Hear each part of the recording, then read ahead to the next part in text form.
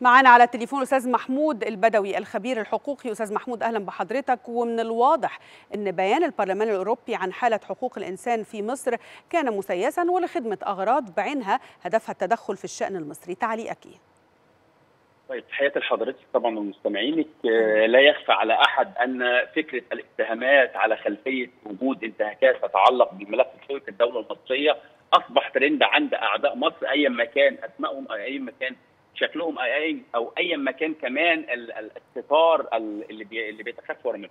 النهارده لما بيطلع بيان بمثل هذا الأمر ده يؤكد على أن الاتحاد الأوروبي لا يعترف بفكرة السيادة الوطنية للدولة المصرية ولا يعترف بأن مصر دولة من أهم دول المنطقة وأهم دول العالم التي قدمت رؤية جديدة من بعد تولي القيادة السياسية والإدارة الحالية في 2013 2014 قدمت مفهوم جديد وتجربة جديدة عن تعاطي الدولة المصرية مع ملف الحقوق والحريات سواء في مكونها الأول المتعلق بممارسة الحقوق المدنية والسياسية أو في مكونها الثاني المتعلق بممارسة الحقوق الاقتصادية والاجتماعية. النهارده الدولة المصرية التي أجرت أكثر من استحقاق آه انتخابي واستحقاق دستوري شهد لهم القاسي والداني من بره مصر ومن جوه مصر بمدى جودة ونزاهة هذه العمليات الانتخابية وإنها جاءت جميعها متوافقة مع المسطرة اللي حطتها كافة المواثيق الدولية فيما يخص مع معيار مدى جودة ال ال ال الانتخابات أو مدى جودة هذه العمليات الانتخابية وشهد بهذا المراقبين أو المتابعين سواء من داخل مصر أو من خارج مصر. النهاردة لما تيجي تكلميني في مرحلة أخرى أو في طرح آخر على فكرة أن الدولة المصرية استطاعت أن تنهض بحقوق المواطن المصري وتسن التشريعات كمان في دستورها المعدل في 2014 تحط 25% من جملة الترتيبه الخاصة بهذا الدستور بتتحدث عن كفالة الحقوق والحريات ومدى التزام الدولة المصرية برعاية الحقوق والحريات في 25% من جملة دستورها المستجد أو المعدل في 2014 النهارده لما تبتدي تكلميني ويخرج حديثك بس مش من مجرد طنطنه بأحاديث ولكن خطوات على أرض الواقع لترفعي شأن المواطن لما تيجي النهارده بتقضي على حزام العشوائيات اللي كان بيحيط بعدد من محافظات الدولة المصرية سواء في القاهرة أو في اسكندرية اللي شاف أو أظن هم شافوا ولا ما شافوش أنا مش عارف.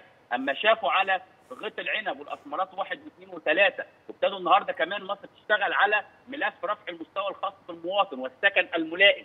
النهارده ملف كمان عندي إزاي؟ ملف الصحة العامة. الدولة المصرية تعمل مشاريع نجاح زي 100 مليون صحة النهارده بنشوف مثلا آه مشاريع زي التكافل والكرامه كل هذه الأمور بيقول إن الناس دول يعني غضوا الطرف صحيح وإرادة واختيارا حطوا نظارة سوداء على عينيهم عشان ما يشوفوش الدولة المصرية وده بيأكد على مدى حالة الترصد في الدولة المصرية. صحيح. إيه المحرك وراء كل دوت؟ هقول لك.